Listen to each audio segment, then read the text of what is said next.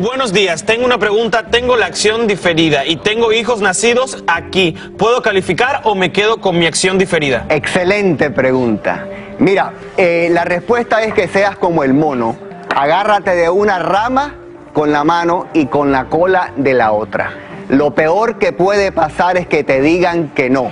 Yo sí quisiera que aplicaras por las dos, aunque creo que la acción diferida, Carla, tiene un poco, de, los estudiantes por supuesto, tiene un poco de más futuro. Pero en este momento, si usted califica por lo nuevo de ayer y tenía un permiso basado en otra cosa, sí lo puede hacer porque no son mutualmente exclusivos.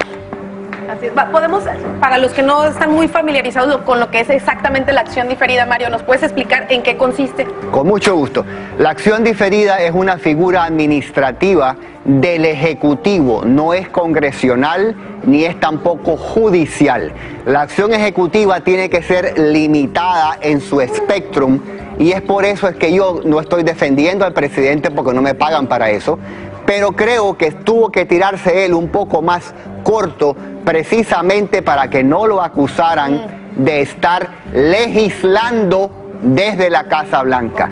Legislar, hacer las leyes le compete exclusivamente al Congreso. Así que esto es algo así como en medio. ¿Eso cubre a los nacidos en Estados Unidos también o no? ¿Cuáles? Lo de lo que estás hablando, lo de la acción diferida. Absolutamente. Perfecto. Bueno, miren, vamos a seguir con más preguntas. Está nuestro Willy con nuestra gente en Twitter, en Facebook. ¿Alguna otra pregunta para Mario? Aprovechen lo que está aquí de gratis. Así es, mi querida Carla. Mira, desde Twitter, Norma Juárez Rayas nos escribe. Es un arma de dos filos y con temor que después deporten a los que aplicaron, ¿podría uno apelar su caso si se presenta? Mira, esa es una buena pregunta, hermano. Eh, es un arma de doble filo, solamente Dios lo sabe. Yo creo que eh, de tener nada a tener algo, me quedo con el algo agradecidísimo con este país, que es como tenemos que hacer. Me parece a mí, de mi punto de vista, que empezar ahora a criticar muy fuerte, que no tengo plata para pagar, qué pasó con mis familiares. Está bien que lo comentemos, pero ante todo agradecimiento y lealtad a esta nación que no tiene ninguna obligación de habernos dado lo que nos está dando.